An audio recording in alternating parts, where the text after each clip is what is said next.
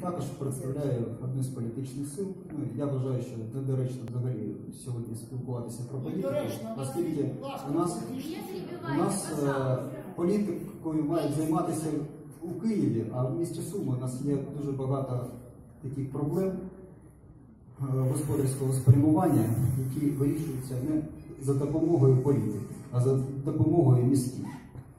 Ось щодо того, сьогодні було багато виступаючих, е, зокрема Семен Салатенко. Він піддавав критиці наші зібрання попередні, оскільки вони, начебто, ні на, чого, ні на що не впливають. На, сам, е, на самом ділі це не так. Я зараз вам докажу це. По-перше, всі вам відомо про те, що мною, а також є ще й депутати міської ради, було подано позов е, стосовно незаконного підвищення тарифів на перевезення пасажирів до 4 гривень. На сьогоднішній день існує декілька судових рішень, які пройшли апеляцію. Ці рішення судові набрали законної сили, і вони доказують те, що міська влада діяла в незаконний спосіб, коли підвищувала вартість проїзду до 4 гривень.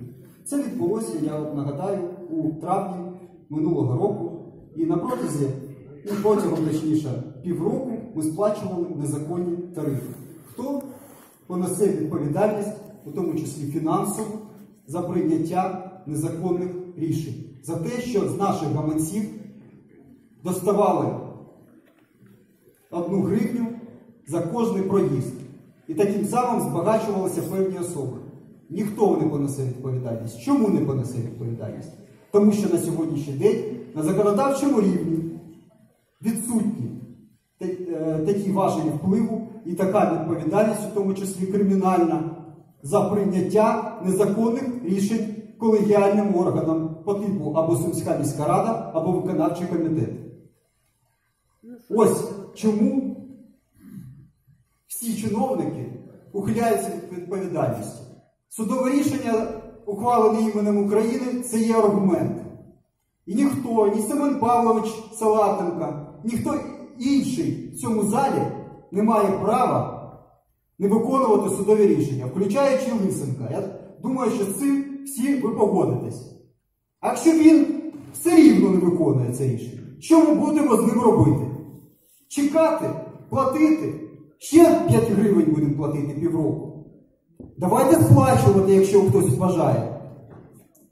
А хто вам буде відшкодовувати, коли ми визнаємо це рішення в судовому порядку також незаконним?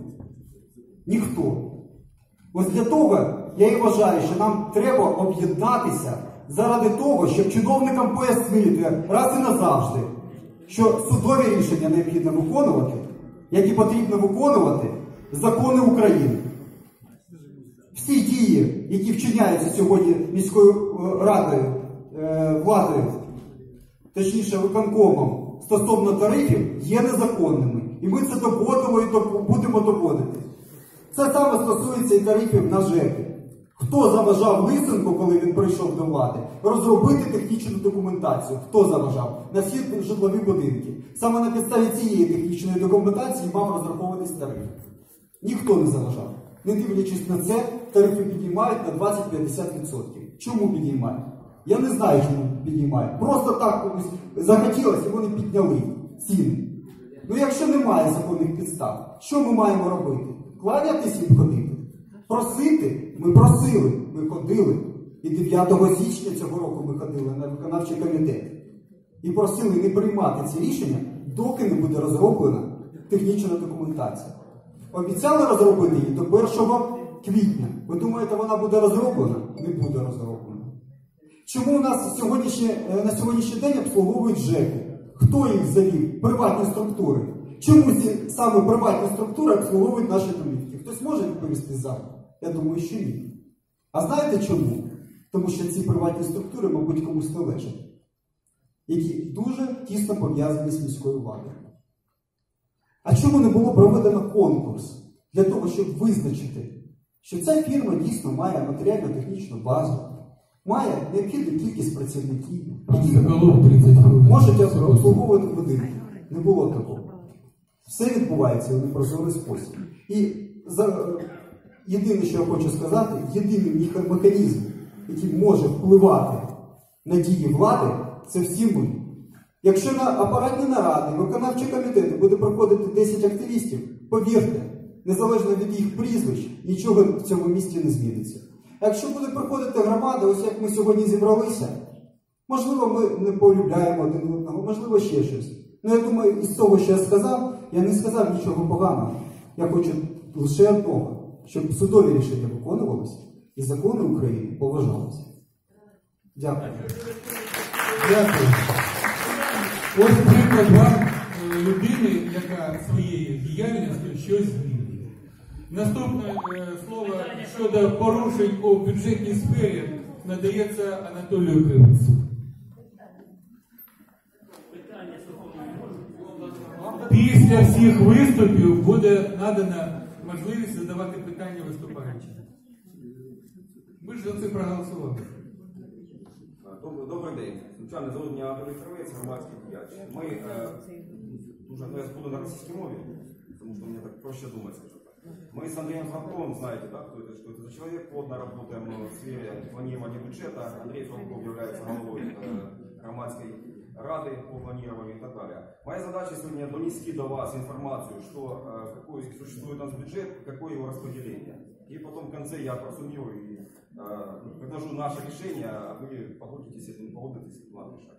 Значит, смотрите, у нас еще лет пять назад была проблема, у нас не хватало денег на все э, э, сферы жизнедеятельности, жи- жизнедеятельности города. На сегодняшний день, на сегодняшний день, за 2017 год бюджет города составил 3 миллиона 100, 3 миллиарда 100 миллионов гривен. Думайте цифру, да? Из них, из них на конец года было не освоено 221 миллион гривен. Понимаете, да, о чем? Но при этом у нас, я говорил пан Брониченко, у нас больницы страшные, да, детские больницы, туда страшно записывать с детьми, у нас нету транспорта, у нас школы ободранные, у нас школы э, э, платят сумасшедшие денег за отопление, потому что нет энергоэффективности, нет утепления, у нас окна разбиты и так далее, много проблем. Я сейчас хочу остановиться на некоторых департаментах, чтобы вы понимали, кто у нас э, чем занимается и кто у нас э, получает зарплату достойно или нет. Значит, на первом месте у нас по э, не освоению денег это департамент освиты и науки Сумской міської. Э, за прошлый год 69 миллионов. Э, следующий, это э, дошкольная освита, 23 миллиона. Э, школы, э, специализированные школы, лицеи, это, 20, это 54 миллиона. Вот. а По роду деятельности, я занимаюсь строительным бизнесом и вижу, что э, в школах э, ну, много что надо делать, но при этом наш департамент говорит, денег нет, того нет, э, не можем выделить и так далее. Вы понимали.